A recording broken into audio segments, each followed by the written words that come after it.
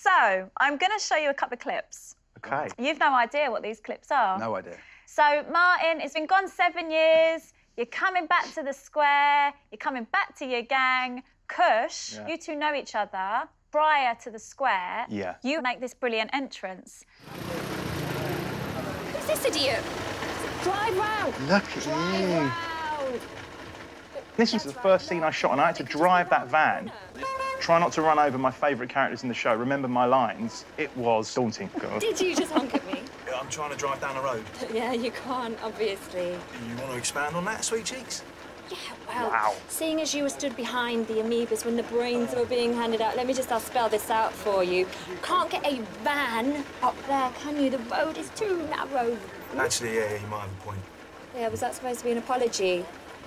Come on, you know what men are like, always exaggerating about size. Oh, wow.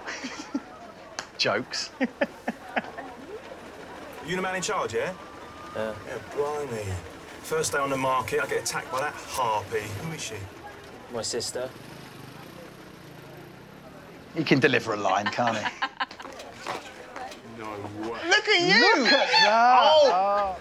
oh. Sorry I couldn't make the funeral. You get the flowers? Yeah, we did. Thank you. You're like a different man. Yes, did he? Which one are you?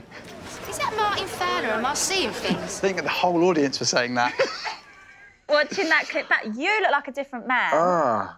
And I don't remember Kush being so. Um... He was a bit. He had a bit of swagger. Yeah, Do you know bit. what Walford can do that to a man? Right. What's it like filming your first scene? Because you've got so many people watching you. And you know right, let's it- see what he's got. You know what it is? It's, it's sur- you're surrounded by people who know what they're doing. That's the scariest thing. And Not they, always. No, well, unless yeah. when I came into the show, they said, "Right, Martin's coming in, you, and you two are mates. He's going to come in, and this is the guy playing him." And I saw his cast card, and I thought you looked like a proper geek. I was like, "This guy's going to be a real geeky fellow. We're not going to have anything." I in am a common. geek. I am. anything in common. that. We're not going to be out of riff. We're not going to be out of play. Couldn't have been more wrong.